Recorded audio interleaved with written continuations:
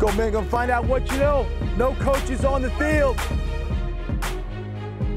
Won't be anybody on the field telling you which way to go, calling out protections. You got to do it yourself. Got to perform yourself.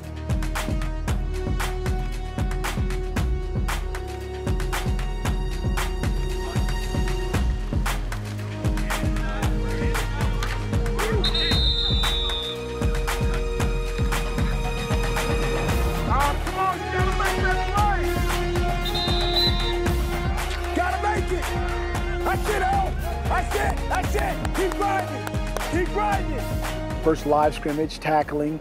And, you know, you want to make sure that uh, you know the playmakers make the plays, the quarterbacks make the right calls. You know, we execute the blocking schemes.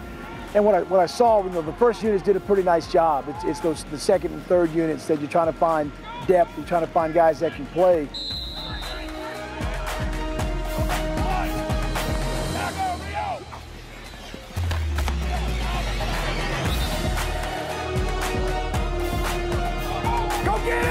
Get it!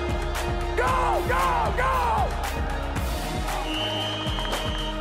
Obviously, we all know the history about uh, Lambeth Field here, and it's, it's something that has his, historical significance to it, but we wanted to get on the grass, and this is a grass opportunity, a grass field in beautiful shape, and uh, we wanted to make sure that uh, our guys under, understood that although we have a great, great facility over there at the McCue, that, uh, you know, you got to play anywhere. You got to go anywhere and spot the ball and play.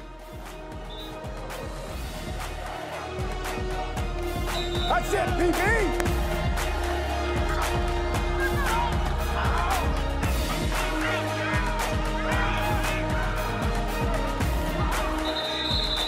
You, you understand that? You, you, you can't grab him from behind back there. You can't grab him and pull him down like that, all right?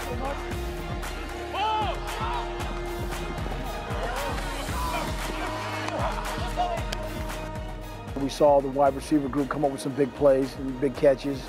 A lot of the uh, uh, secondary guys but come up made up big big hits, uh, big tackles. So with the second units and the, and the backups and the guys that have a well, can play a role in uh, providing depth for us, that they got to continue to develop.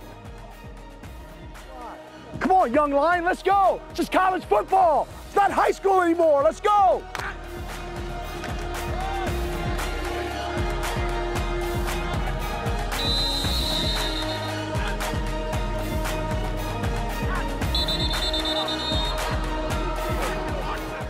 Got practice on Monday. Like I said, it's going to be a grind next week. A grind.